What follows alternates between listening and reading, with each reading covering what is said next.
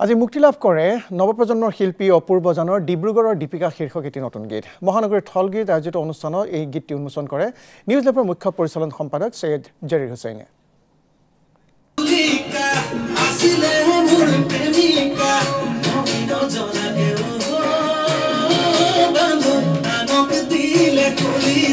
আচলতে ডিব্ৰুগড়ৰ দীপিকা মোৰ খুব হেঁপাহৰ গীত আচলতে আৰু গীতটো আজি মানে মুকলি কৰিবলৈ পাই নিজেই মানে গৌৰৱ অনুভৱ কৰিছোঁ আৰু ডিব্ৰুগড় দীপিকা গীতটো সংগীত কৰিছে পলাশ গগৈয়ে আৰু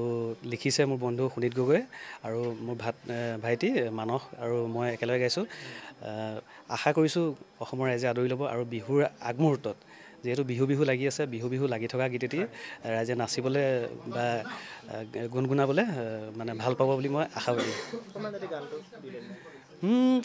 দ্বীপ অতিতা বৰৰ তুলিকা হৈ আছিলে মোৰ প্ৰেমিকা মই নজনাকে অ বান্ধৈ আনক দিলে কলিজা তাই আনক দিলে কলিজা।